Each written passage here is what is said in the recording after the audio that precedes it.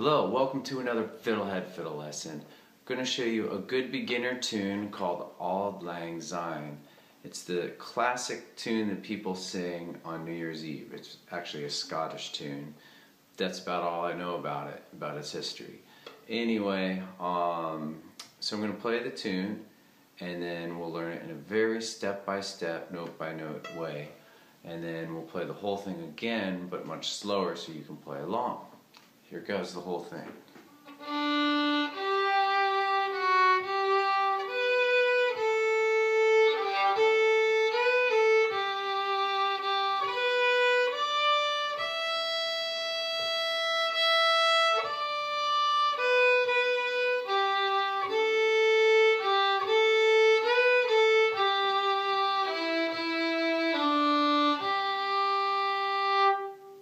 Okay, before we do the tune, I recommend you practice the D major scale. Let's do it. Here's what that is.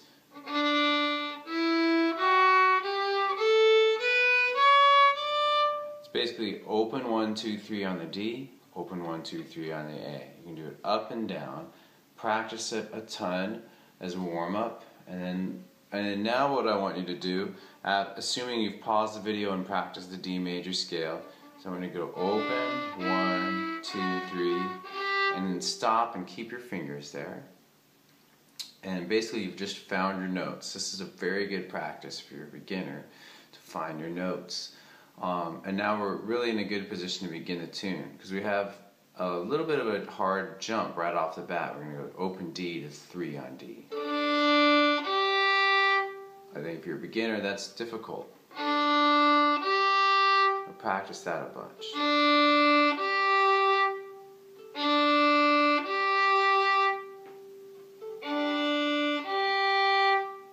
Ideally, you learn to lift your fingers in tandem, all three of them. But you can also practice this with just keeping your first and second off and your and your three down. Putting just your three down. Ideally, as a fiddler, you should be able to do both, and having both those options will give you more freedom as you play. So now we're going to add to that phrase. Open three, two, three. Once more. That's followed by a phrase starting one on A, to open A, and then 3 on D back to A. I'm going to cycle this piece because I think this is also a challenging piece that will help your technique if you practice it.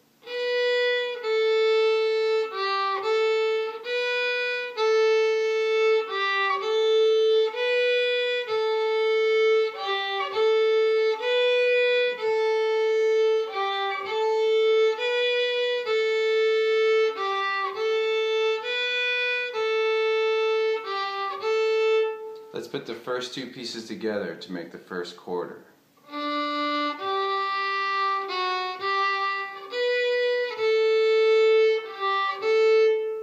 Again.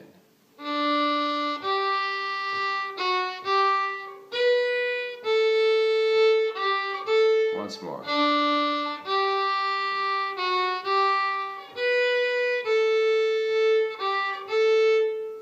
Let's move on. The second quarter, starting first on A, going to 3 on D. 1, open, 3 on D. Adding. So added 3 on D back to 1 on A. And now we're going to add 3 on A, open E.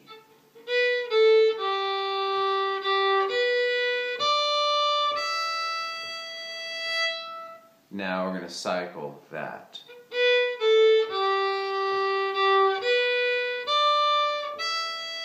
Here we go.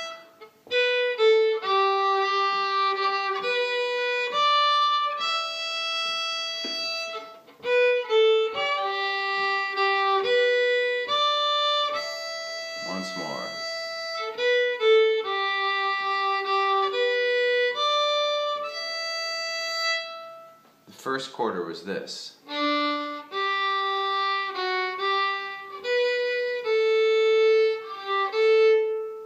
Next quarter was this.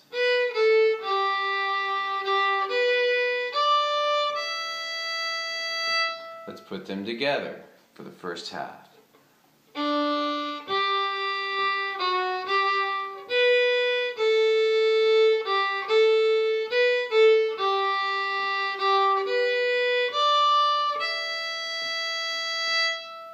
Once more.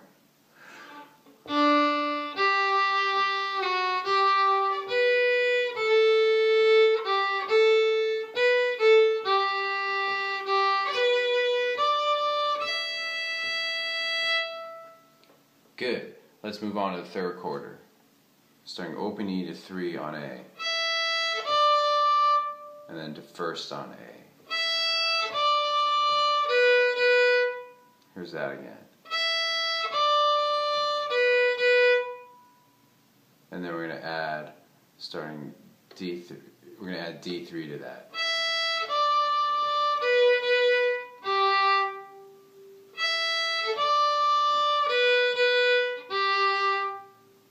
Good. Next piece. Open A to, to D3 to open A. Again. Now starting that whole third quarter is this.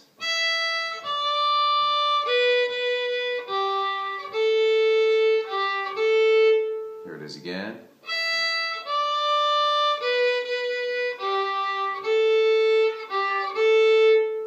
Good.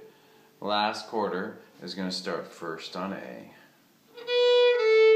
going to D3.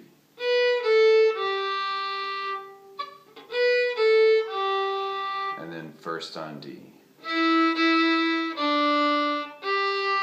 Ending on D3. Here's the whole fourth quarter.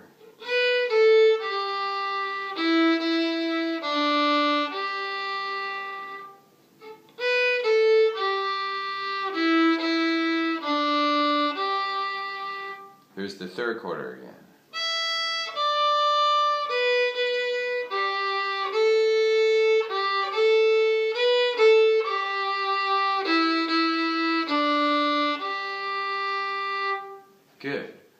Together the whole second half.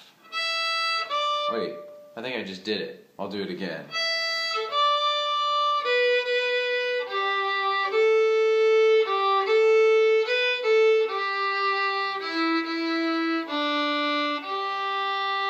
You now have all the pieces of the tune. Let's just do the whole thing. If you're uncertain of it or anything, you miss any part along the way, just rewind and find it and practice it. So here we go. One, two, three.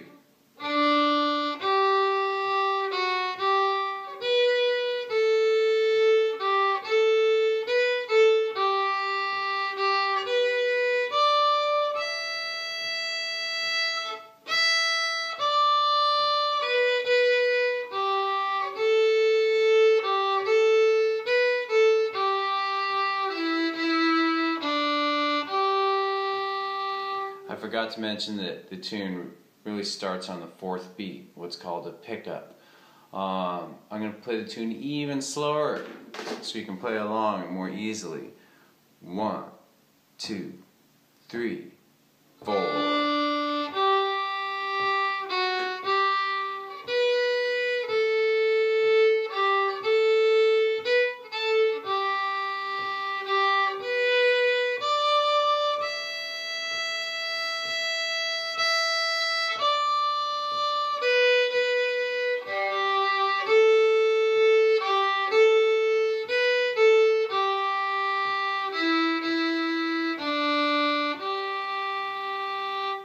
Very good. Thanks for working so hard. And then if you get that down as a bonus, you can easily play the tune starting on G. Be the same fingering.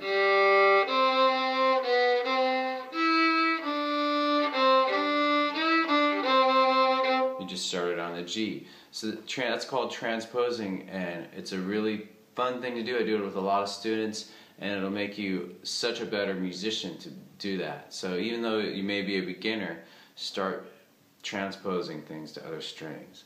Okay, well, thanks for watching the video. I had a good time making it for you, and let me know how it goes. Stay in touch, write me a letter, um, and uh, we'll see you next time. Thanks for watching the video. Excellent.